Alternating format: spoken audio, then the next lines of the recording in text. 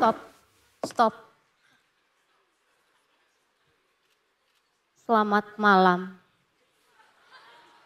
Kaget ya melihat sosok Dasia, tapi wajahnya tidak memenuhi golden ratio. Gak apa-apa toh, yang penting vibes-nya kan wanita kurir banget. Malam hari ini saya berada pada acara perayaan 13 tahun Mata Najwa. Saya merasa bangga dan saya tidak menyangka saya bisa berdiri di sini karena saya maunya duduk di situ.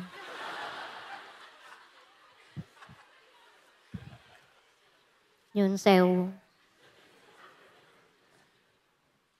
Ada empat hal yang selalu terpatri dalam ingatan saya. Satu, dua, tiga, empat. Itulah empat hal yang selalu terpatri dalam ingatan saya. Gak ada isinya kan? Ya sama, seperti janji penguasa.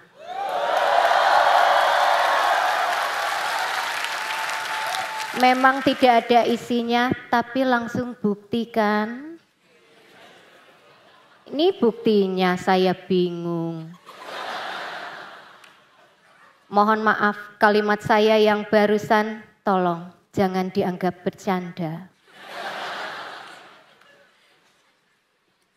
Meracik tembakau adalah sebuah seni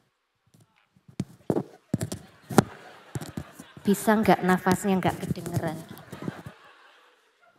Meracik tembakau adalah sebuah seni dan rasa tembakau juga tidak bisa dimanipulasi seperti hukum di negeri ini.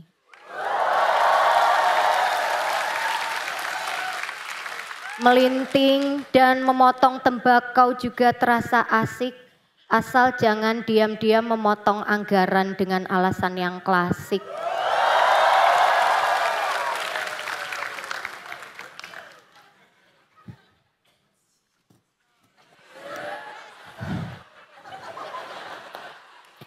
Saya mencium aroma-aroma kekalahan dan kemenangan.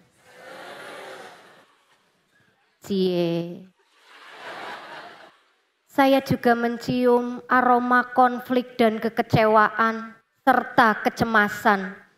Sama seperti kehidupan sosial kita saat ini, terutama di kalangan anak-anak muda.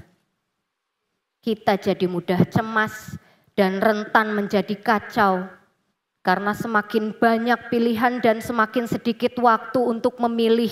Otak primitif kita nampaknya belum siap dengan perubahan yang begitu cepat dan sifat-sifat dasar alamiah kita terdampak lecutan kencangnya akselerasi budaya.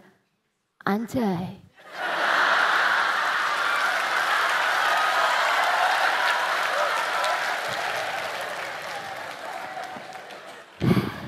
Setiap kali saya melihat dan juga mendengar berita, ada yang maling ayam, maling motor, maling sendal, mereka semua langsung dieksekusi di tempat, digebukin sampai biru-biru.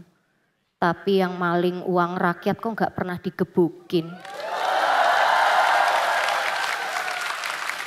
Eksekusinya juga lama dan penuh drama. Begitu saja terus sampai Metallica rilis album religi.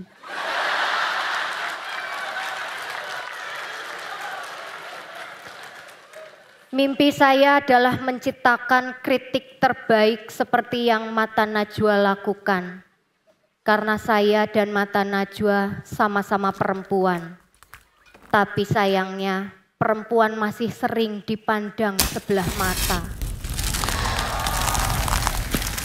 Padahal yang boleh memandang sebelah mata hanya Jaja Miharja. Apaan tuh?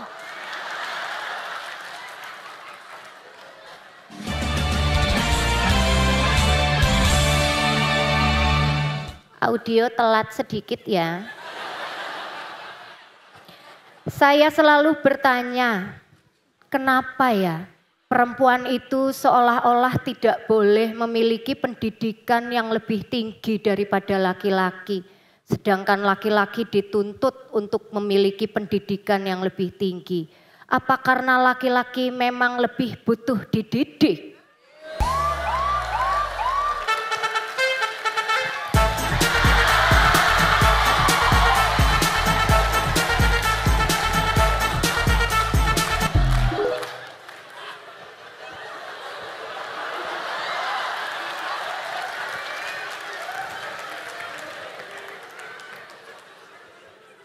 Saya juga sebetulnya cukup terganggu dengan stigma bahwa perempuan tidak pernah mau kalah kalau berdebat.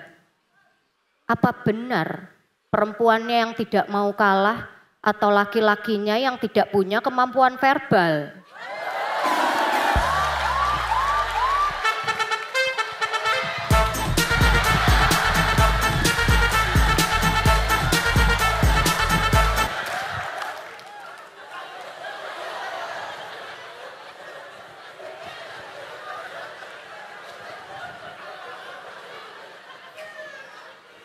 Sepertinya konstruksi sosial jugalah yang membuat mimpi perempuan itu menjadi sangat terbatas dan sempit. Tapi saya paham, kalau perempuan mimpinya terlalu tinggi, nanti jadi susah ditaklukkan.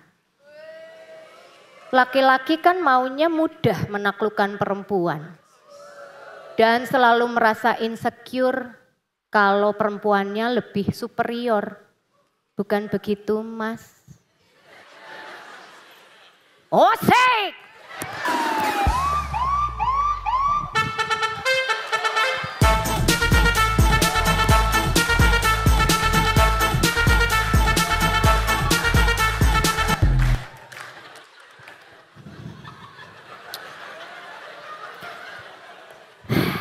Tapi biar bagaimanapun, saya dan perempuan-perempuan lain akan tetap memiliki mimpi dan akan mewujudkannya.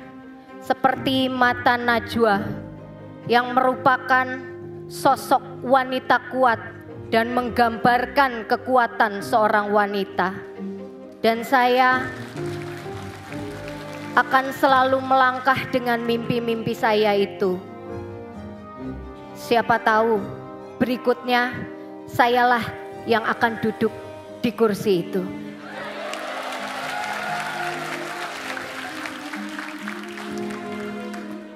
Terima kasih dan selamat malam.